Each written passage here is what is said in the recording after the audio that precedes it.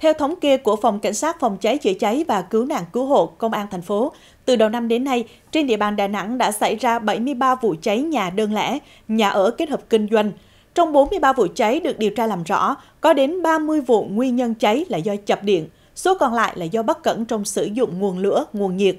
Để ngăn ngừa nguy cơ sự cố, tai nạn điện, công ty trách nhiệm hữu hạn một thành viên điện lực Đà Nẵng đã gửi thông báo đến chính quyền địa phương các cấp để phối hợp hỗ trợ tuyên truyền sử dụng điện an toàn trong nhân dân, đặc biệt là trong dịp Tết Nguyên đán. Ghi nhận của phóng viên thời sự. Những ngày qua, các đội nghiệp vụ an toàn điện của Điện lực quận Hải Châu đến từng hộ dân trong phường Hòa Thuận Đông để nhắc nhở người dân cẩn trọng khi câu nối nguồn điện,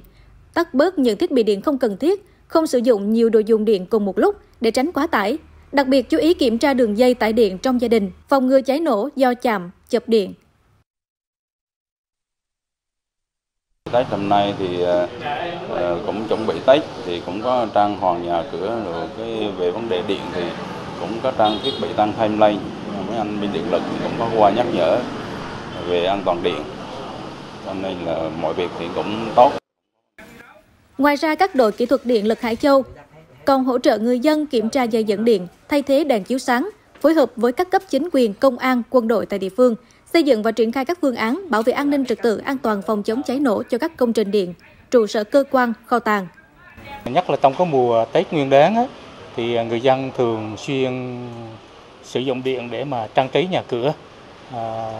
thì à, bên cạnh đó dẫn thì cái việc đó nó dẫn đến dễ dẫn đến cái quá tải sử dụng điện cho cái hệ thống điện gọi là à, quá tải cục bộ thì à, ngoài ra cái việc mà sử dụng à, vệ sinh nhà cửa cũng tiềm ẩn cái nguy cơ là, là tai nạn điện trong nhân dân. Công ty điện lực Đà Nẵng đã triển khai tăng cường cái việc kiểm tra lưới điện hàng ngày để kịp thời phát hiện và ngăn chặn xử lý các trường hợp quá tải vi phạm. Cùng với đó, công ty cũng đã gửi thông báo đến chính quyền các địa phương để hỗ trợ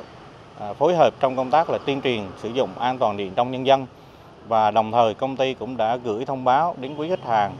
qua nhiều cái kênh truyền thông phương tiện à, thông tin đại chúng để quý khách hàng là lưu ý trong cái việc là sử dụng điện à, đảm bảo an toàn tiết kiệm hiệu quả và không vi phạm khoảng cách an toàn hành lang lưới điện.